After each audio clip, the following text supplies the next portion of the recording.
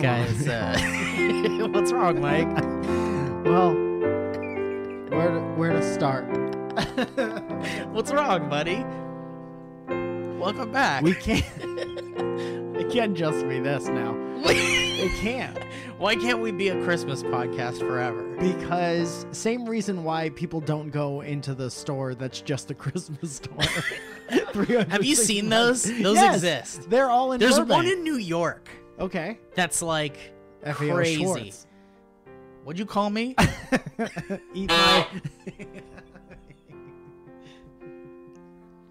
Did you just call me Ben Schwartz?